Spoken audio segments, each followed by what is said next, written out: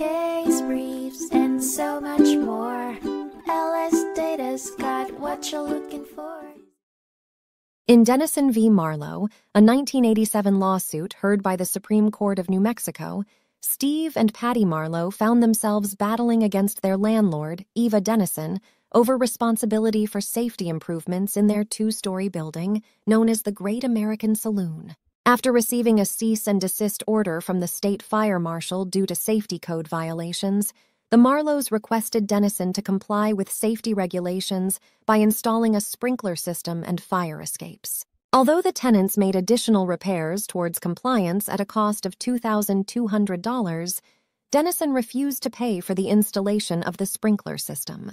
As a result of Dennison's refusal, the Marlowes were evicted from the second floor, and their seating capacity was reduced. They continued to pay rent for the first floor until July 1985, after which they paid no rent through the trial date.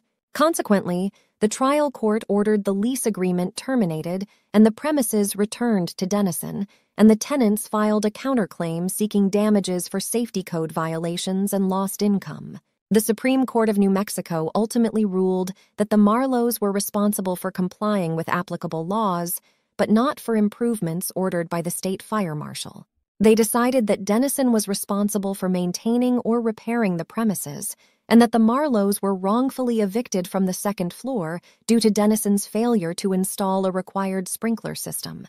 As a result, the court reinstated the Marlowes' counterclaim for damages and remanded the case to determine the rent owed by the tenants for the diminished facilities, as well as whether the Marlowes' alleged damages were contemplated by both parties and could be ascertained with a reasonable degree of certainty.